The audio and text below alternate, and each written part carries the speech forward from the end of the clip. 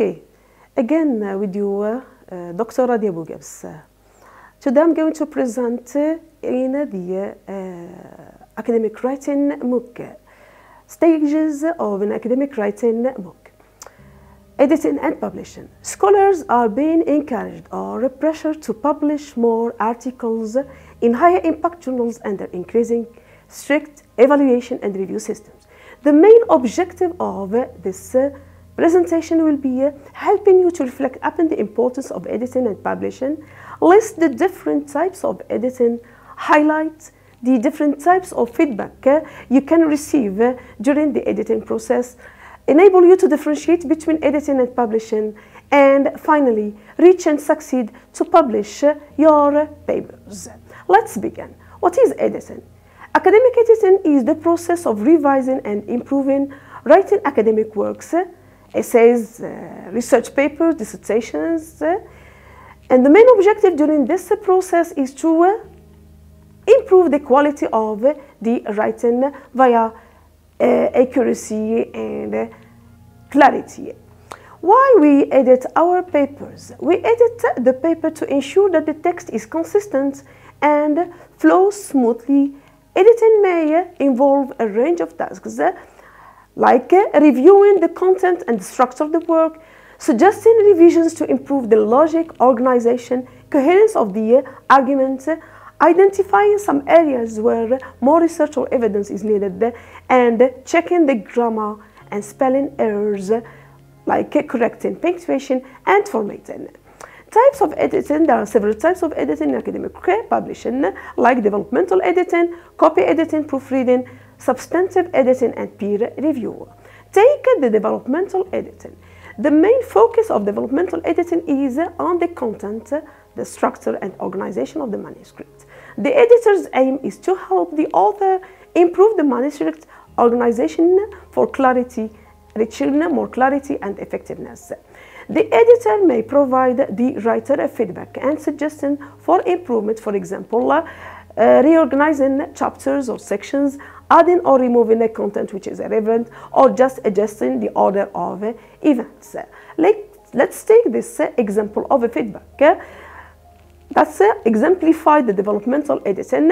We can see from the different remarks included is that this, of course, editor highlight the importance to clarify uh, what is meant by battlefield or asking for giving more description or just keep using the phrases living in the words.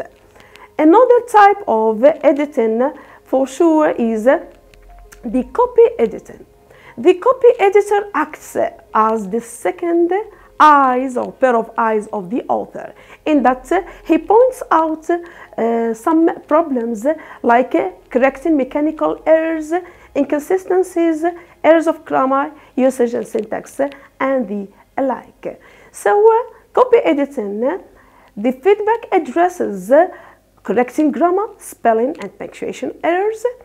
Copy editing as a pre-publishing stage aims to ensure that the manuscript is error-free, polished, and ready for publication. Let's take an example of a copy editing feedback. So you can see from the different uh, remarks included in this uh, feedback is that uh, the editor focuses mainly on grammar, mistakes, capitalization, and the alike. The third type of editing or of course is substantive editing. And this type of editing combines between the two previous women here the developmental editing and the copy editing in that uh, the copy editor sorry the substantive editor may focus on improving both the content structure organization language and style of the work and ensuring that uh, the paper will meet the highest standards of quality and effectiveness an example of a substantive editing feedback, as you can see from the remarks, included that the focus of the editor is both on developmental editing concerning content and development, and also another type, uh, uh, another focus addresses grammar and the uh, like. All in all, towards publishing, so from editing to publishing, from ensuring the final work effectively communicates the author's ideas and meets the expectation of the intended audience towards sharing the finished work to the intended audience. What is publishing? Publishing or publish and perish principles is the heart of academia discussion.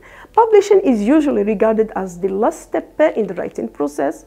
It can take various forms, including it can be traditional publishing, self-publishing, or electronic publishing. It involves making the finished or the final piece of writing available to the wider or the targeted audience. Types of publishing, as I have already mentioned, we have the writer have various options for making the works available to the larger or presumed audience, uh, like traditional publishing, self-publishing, electronic publishing. Well, by traditional publishing women that follow the traditional process of uh, publishing, uh, like, uh, say, for example, uh, in that they are usually peer-reviewed. This is the process published by established publishing house or academic societies. If the manuscript is accepted, it undergoes editing, design, and production before being printed. There.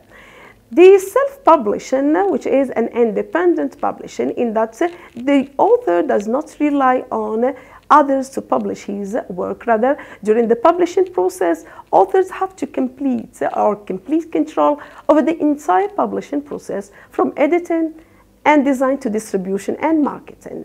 These manuscripts are usually made available online or maybe uh, they may or may not be peer reviewed. The electronic publishing as a third type refers to the publication of written works in digital format such as ebooks, audiobooks, and online articles. Of course, these articles are usually peer-reviewed and indexed in databases for easy search and retrieval process. This kind of publishing offers readers larger convenience by allowing them to access books and articles on their smartphones, tablets, or personal computers. Of course, we almost know what is meant by the open access publishing. It is open access publishing is a type of online publishing. It allows it allows restricted uh, restricted access to scholarly articles and other publication free of charge to readers. Its aim is to remove barriers to accessing knowledge and promote the dissemination of research to the global audience like uh, an example how to get to the open access publishing uh, via Google, of course, uh, we have to get to this link. Then the SNDL open access is uh, allowed for the researcher. Of course, this will provide uh, the researcher with a database and of course, this database will help him to uh, publish his work, like the example uh, we will have after this one. Uh, as you can see, the different databases offered by the Open Access SNDL.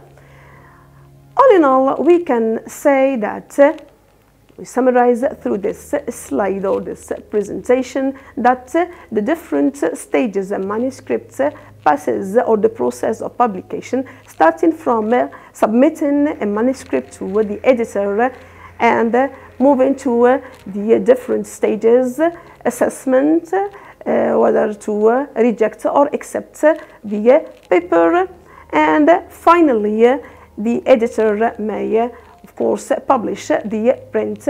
All in all, writing a successful academic paper requires editing and publishing.